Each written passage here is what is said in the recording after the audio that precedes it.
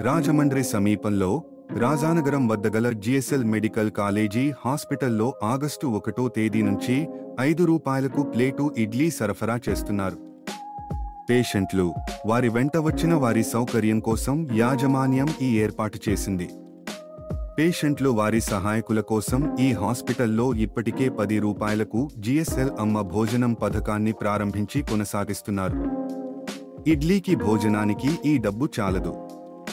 లబ్ధిదారుల భాగస్వామ్యం కూడా ఉండాలనే నామమాత్రమైన ధర నిర్ణయించారు.